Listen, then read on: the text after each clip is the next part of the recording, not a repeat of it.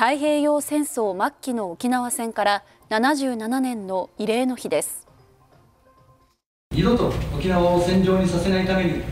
核兵器の廃絶戦争の放棄恒久平和の確立に向け絶え間ない努力を続けてまいります。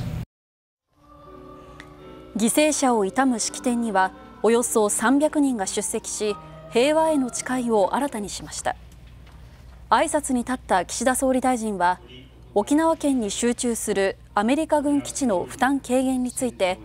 目に見える成果を着実に積み上げると述べました。沖縄戦では日本とアメリカの民間人を含む20万人以上が命を落としました。